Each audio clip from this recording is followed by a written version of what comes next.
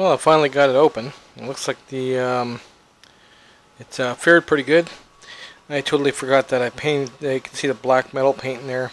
I painted the the magnets and the stator last time I had it open, and uh, you know, there's not much rust in there considering I've been through a few rainstorms. Just little black dust. And as you can see, I got it all nicely sealed up all around here. So what I need to do is I need to dig into the wiring here and find the one that comes in for the fans. And then we need to cut it and somewhere add this. I would like to mount it this way. Even if I had to epoxy it. The only reason, like when I touched this, when after I went for a ride, it wasn't that, it was just lukewarm. But the edge here was really hot. So that's the perfect place to put it right there. Even if I can just epoxy it there, it's it's not going to move and it's still going to transfer the heat. We'll see. I don't want to drill holes into it, obviously. Epoxy works pretty good. I'll just have to grind it a little bit where I'm going to glue it.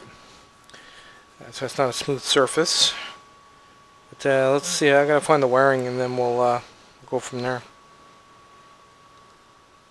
Just gonna do a quick test just to make sure that the um, all the fans are spinning up, which they are. Those uh, San Ace 40s, not bad. They've been through hell and they still work.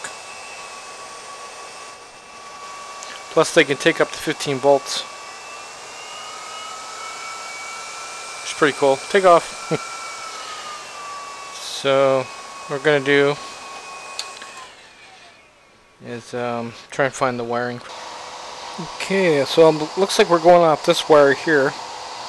Got a red lead that's coming in through here, and then coming out here and up to here, and then it's tied to the rest of the red leads. I kept that color coded so it makes it easier to grab. We're just going to um, pull it apart basically.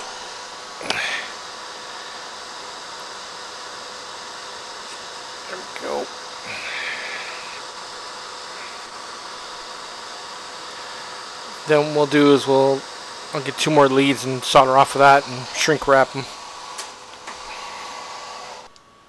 I'm going to save you that boring procedure.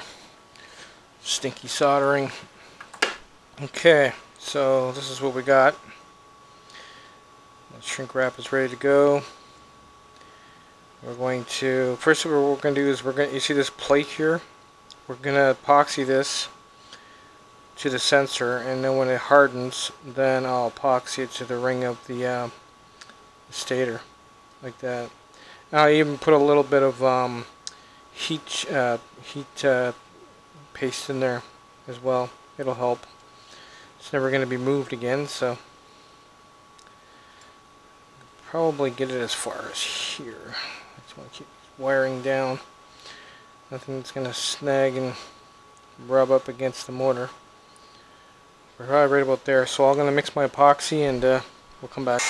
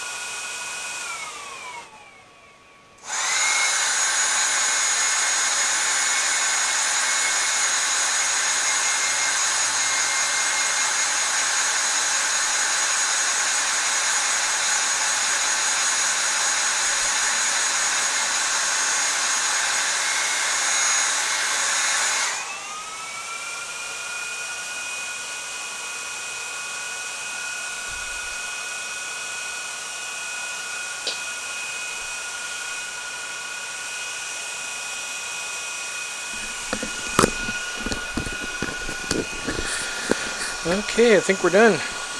Uh, so basically put it back together and it's doing exactly what I want to do.